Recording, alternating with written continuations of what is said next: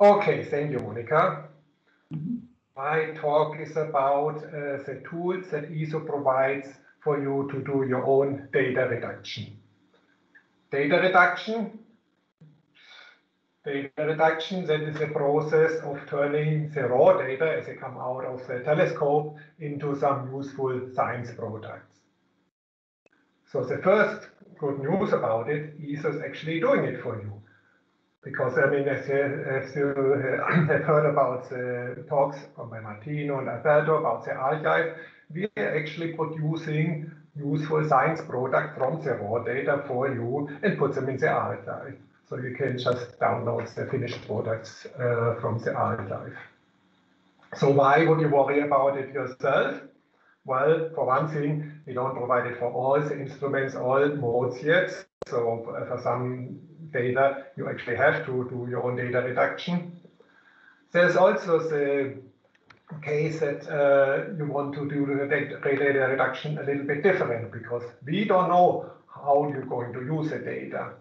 So sometimes for a different science goal, you want to reprocess the data different from what we did. And so we give you the tools to do that.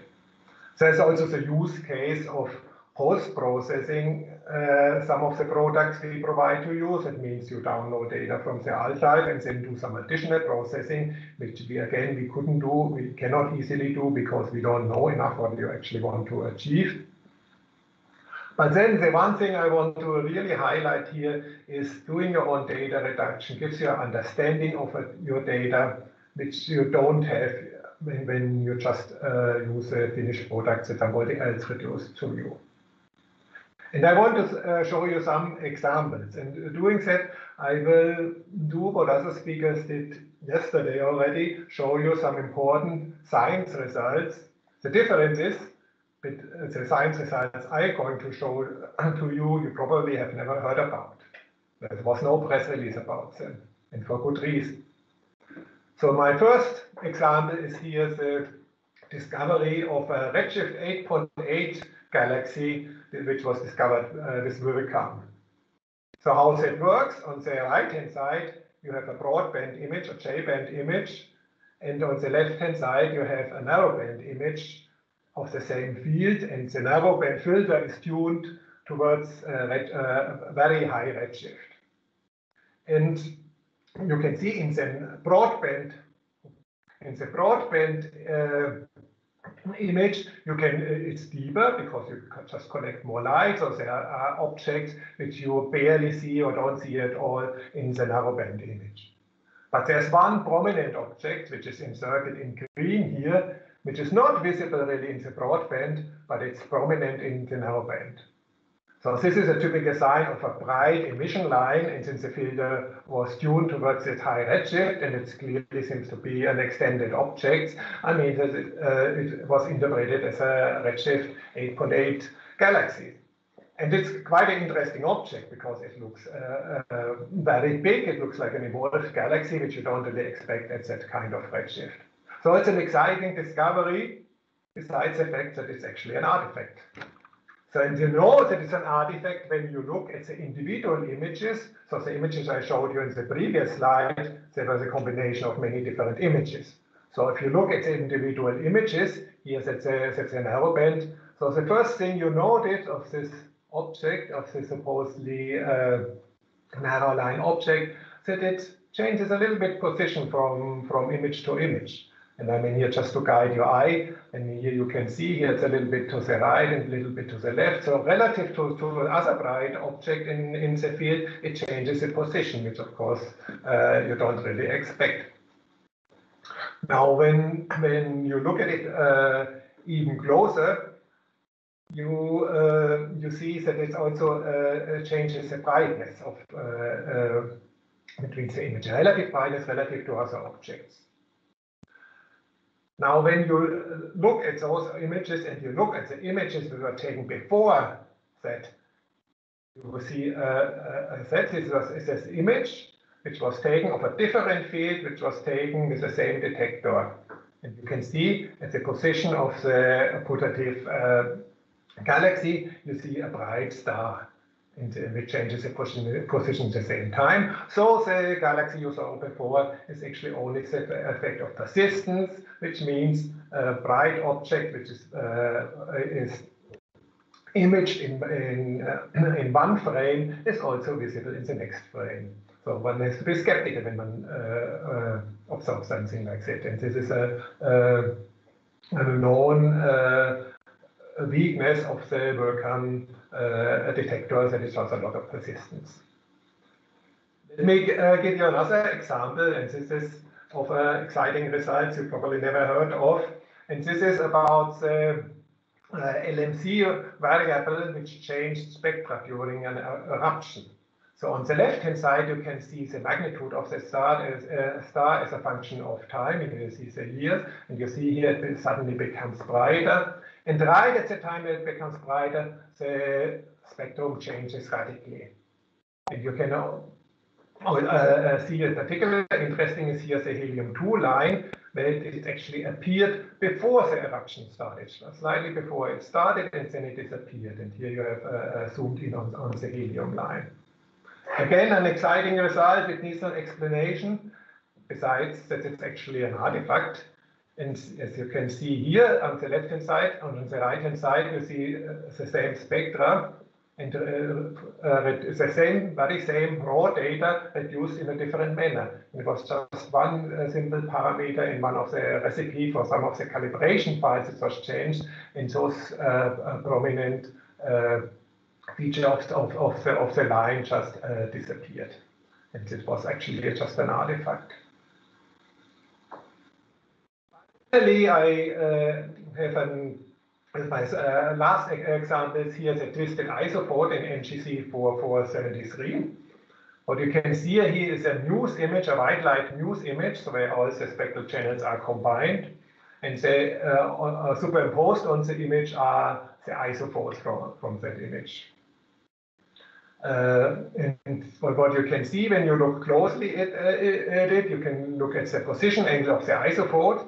For example, here, it's for the, uh, for the second inner uh, isophote, it's, it's at the position angle. But when you go further out, the position angle seems to change. Set up is a function of a uh, major axis, a position angle, and you can do some modeling. And this is, is a well-known uh, uh, feature. There's, there's, there's some good theories how, uh, to explain how the twisted isophote can occur. And again, it looks as a completely plausible result, which one is ten, tends to believe. But when you look closer, it actually is just an artifact. So this is the same, very same data, and this example was actually provided by Lodo Coccato.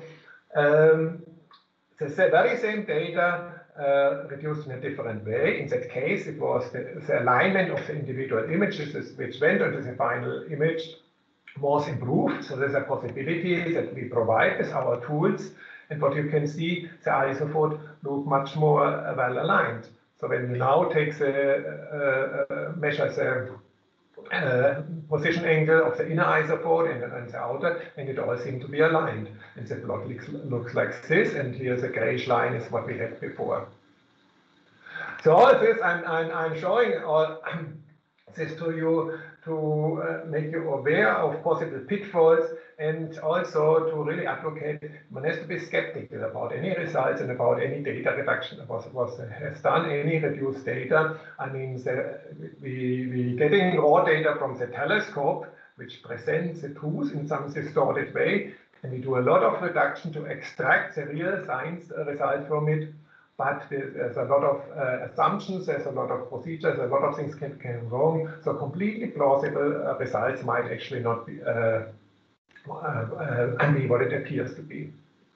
So and for doing that, what we what ESO provides are the pipelines, pipelines that are basically our data reduction system uh, that, uh, that is consists of the pipelines. The pipelines are part of the uh, reduction system. These are basically individual standalone programs which one can write. Right, in, in the most general sense, they take as an input some of FITS files, the raw data, or, or, some of the data which have been processed before, and create something out of them new uh, FITS files, and uh, and you have, can tune them with some parameters. Now you can, of course, in principle run those uh, those programs one by one with recipes, but there's a lot more things you have to do to do the data reduction. I mean, the first thing you have to organize the data. You have to make sure that the right data go to the uh, to the right recipe. You have to organize and the output again uh, and move, uh, move it on, pass it on to the next recipe. You have to uh, think about the recipe parameters, uh, play around possibly with it and, and set them. And then, of course, you have to really inspect the results, including the intermediate results, plot them and look at them in a critical way, and uh, possibly how to improve them. And all this is, of course, connected to each other. You plot uh, results and then uh, set the parameters in a different way based on what you found in, in the plots and so on. And the system we provide for doing all this is called EsoReflex. So this is the EsoReflex data reduction environment. And what you can see here already in the background, this is a presentation of the reflex environment. So this is not just uh, a plot that uh, shows you in principle how a pipeline works, but this is actually a program which you can use to interact. And the talks that follow me will, demonstrate that in much more detail. So what I will do in the remaining time I have left here, just to give you a very basic overview um, uh, over the reflex environment. So what you, so this is uh, the, the workflow for uh, HAWK-I, which is uh, uh, the infrared imager. And you can see all, every green box here is basically a program. The green boxes which, which, which you see here highlighted, these are the recipes, these are the programs that uh, take the FITS files and produce some new FITS files. So you have to, uh, to run them in order, and the arrows indicate where the output of one, one of those recipes goes, how it goes to the next one. But again, in order to run them, there are more things. You can see there are other things on, on, on this workflow that are not uh, that are not recipes, and I want to briefly explain what it is, but I want to use a more uh, simple case in the HAWK-I pipeline. So let's look at uh, something a little bit more simple, which is a FORS imaging workflow. So the first imaging pipeline basically has only three recipes. And there are uh, box in here. So it has a recipe to combine the raw master frames, so to make a master bias out of many uh, individual raw master frames. The same things for the uh, flat, and then it has a science recipe that actually then produces the, uh, the uh, final science images. So these are the main component of the pipeline, but let's look a little bit on, on uh, with some of the other things on, on this workflow. I mean, I, I, skipped the first one because it's just an initialization of, of that. But the first interesting thing which is done is the data organizer. So the data organizer is the part which looks at all the data which you have on, on your disk and organizes them. That means the first thing this uh, program does, it looks what kind of files do you have. There are many different files. So this is the, uh, this is your uh, data set you might have, and it consists of a science image and a bias and a flat. But the FITS file itself uh, is it's just a file, so based on header keywords, you can categorize uh, those different files and give them a category. So that's an important piece of information, of course, you need to have before you feed the recipe in any useful way.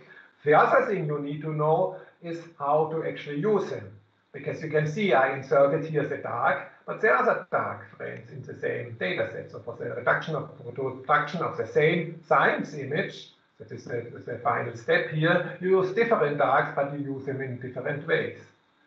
So there are also rules how to do that, and then you uh, uh, can follow that and, and record that. So the purpose of each of those raw files is also recorded and organized. And this might seem like an easy task for something like, uh, uh, let's say, instrument, because there are very few file categories. But if you think about an instrument like XShooter, where you have literally dozens of different uh, file types which interconnect, which are very difficult to uh, to uh, to recognize, to know what where they belong to, what to do with them. This is already a major task, which if you were to manually do it, would take you a long, long, long time, and it's almost impossible to do sometimes manually. So this is a, uh, the first component, the, uh, the data organizer, which we do at the beginning of of, uh, of, of running the pipeline. Then the next step is to select which of the data do we actually want to uh, uh, to process and reduce. And the next, uh, and then you go, the pipeline, the, the system goes ahead and takes all this information which was produced during data organization and uses them to distribute the files. So this is what's called the FitsRouter, and you can see it's connected to the different kind, uh, to the different recipes here. So the FitsRouter takes as input all the files which belong to one data set and distributes it. So the biases go to the master bias recipe, the raw images go to the science recipe, and so on. So the connections on the workflow, which you can see, they, uh, they uh, uh, channels those different files to the recipes and the, the, the way how they are distributed. This is this FitsRouter. And then the next step is once a file files or a bias file uh, uh, arrive here, it's a master bias recipe uh, they will be produced. And again, this is just a, a standalone program which actually contains the algorithms. It's of course the recipes are the brain of the whole thing. They actually uh, do uh, they actually do the work in, in, in processing the data and so on.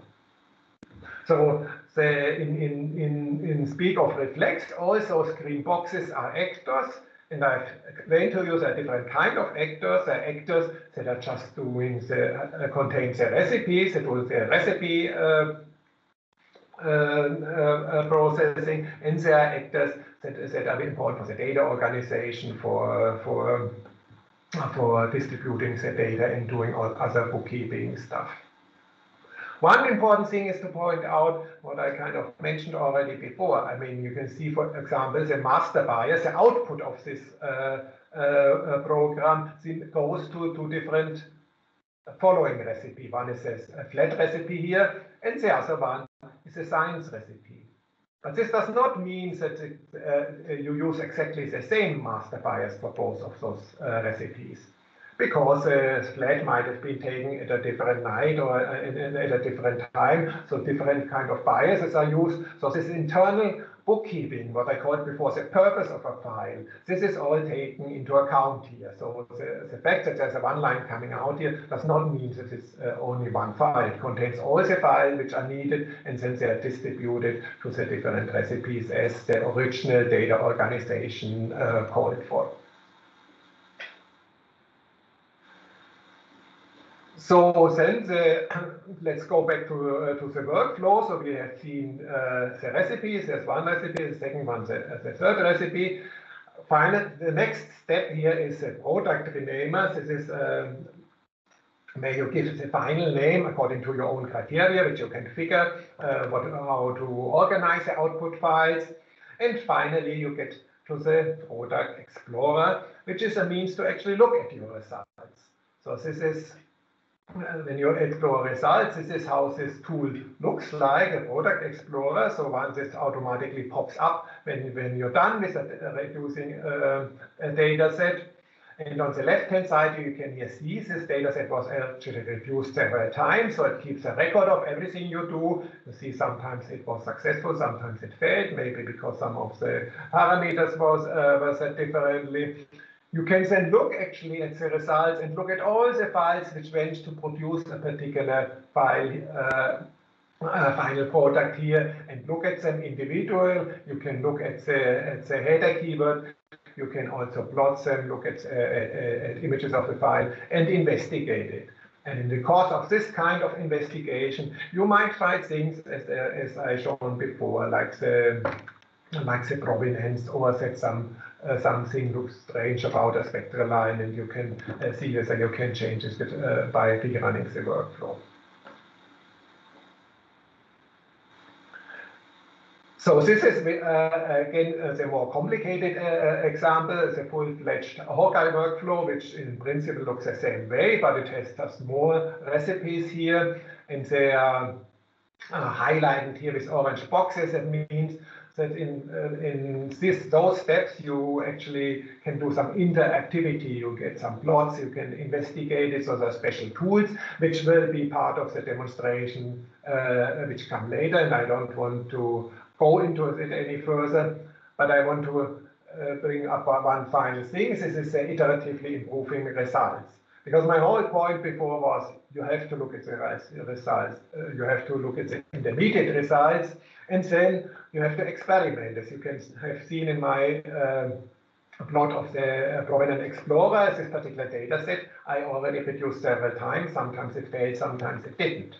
So you want to typically want to rerun it many times, uh, your uh, workflow, and, in, and change something along it. But when you change something, say in the bias recipe, that doesn't really mean you have to, uh, to rerun all the other recipes. But some you do. If this bias was used for the flat, you need to rerun the flat recipe.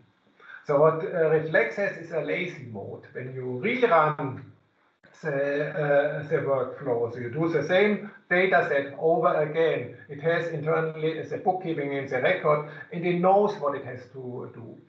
So typically, when you rerun the workflow on the same data set, it goes much faster than before. In the extreme case, if you didn't change anything, it basically doesn't need any uh, um, uh, CPU for the recipe. So for the recipe, so just the overhead of actually organizing the data, running them, and uh, and, and, and, and, but the basic, uh, it, it, it's very fast uh, because no work actually needs to be done. However, if you if you're doing a more complicated workflow, you have changed one parameter, is a parameter or, or, or the input files or anything on the, on the workflow. Then the system figures out itself which of the recipes need to be rerun and which are, do not need to be rerun. So this is a very convenient, very efficient way of running the data organization, which are doing all this bookkeeping uh, by hand, the manual bookkeeping, which typically leads to redoing things because you just don't remember whether it is now uh, needs to be redone or not. So this is uh, an, an important part of the system that it gives you all the means to redo things both in terms of actually providing the information, gives you the plots, gives you uh, the way to explore, to drill down a data set, but then also efficiently to uh, rerun it. And this is an important feature for things when it takes, uh, they take very long to run. So finally, and then I want to um, finish up here a summary of what I uh, basically told you. I mean, this recipe that are, are used by the pipelines, these are the same recipes we also use to produce the archive uh, data, uh, archival data. And also the same recipes are used in parallel on, on, on the, the telescope to do the initial uh, quality check on the data. So you, and really all over we use these recipes and the, and the recipes themselves, there's no no improvement in, in the algorithm when you redo it, but it's the way you uh, redo is your, your reduction in terms of parameters, in terms of what, what the input files uh, uh, you put in, maybe removing some of them, experiment how to combine it with different uh, kind of data set. That's, a, that's a, the kind of thing you have control over, but not over the actually algorithm in terms of what we provide you. When you use the recipes and I will come to uh, later back what, what, what, what you can do when you want to introduce your own algorithms.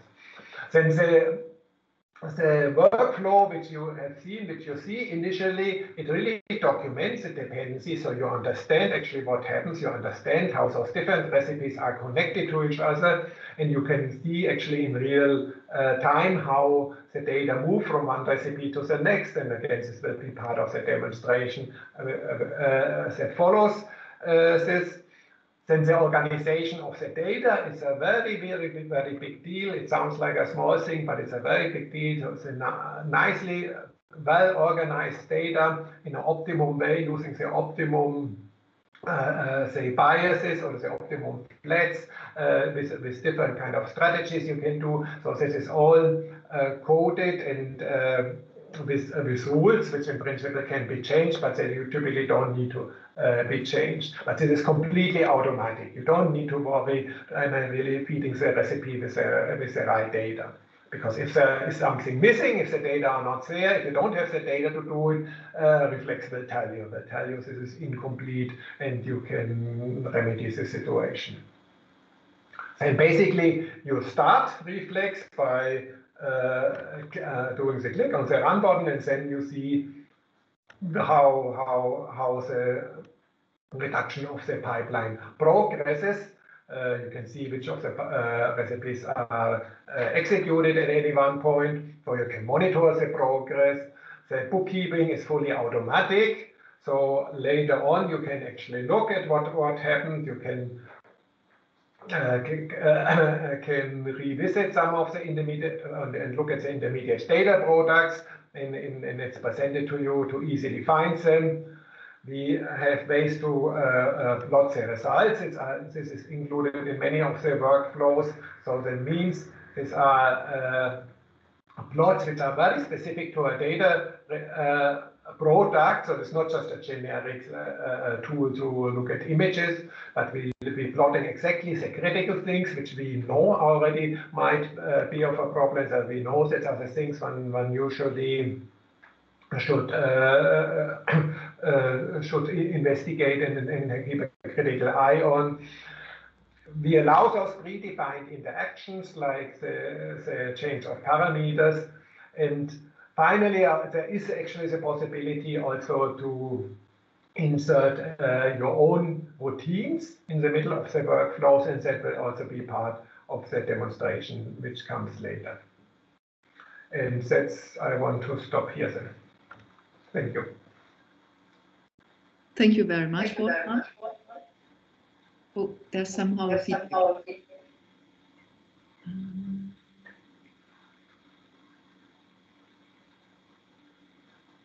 Okay. Okay. Maybe can you, for the moment, switch off your microphone? Okay, thank you.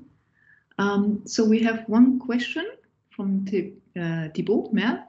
Um, I will read it to you. So can we retrieve data directly from Reflex or do we have first to request the archive for the science and calibration FITS files? You first have to get the data. I mean, Reflex uh, looks at a, a, data directory which you have on your disk. So there is no retrieval of data, no automatic retrieval of data. Okay, thank you. Any other questions for Wolfram?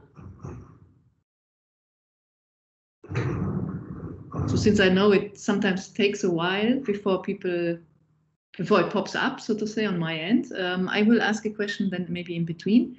So you showed us that uh, the router of uh, of, of the reflex workflow is the one um, that um, does the organization of the data, right? And can we use that feature um, to produce the SOF files for ESO Reflex input? Okay, uh, first of all, the router does not actually organize the data. It's a step before, so the router uses this information of the organization of the data.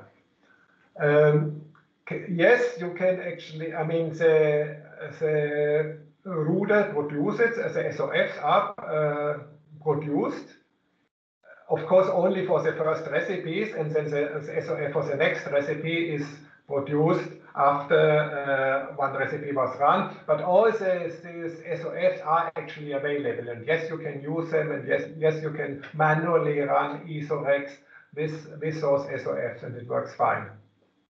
Okay, great. Thanks.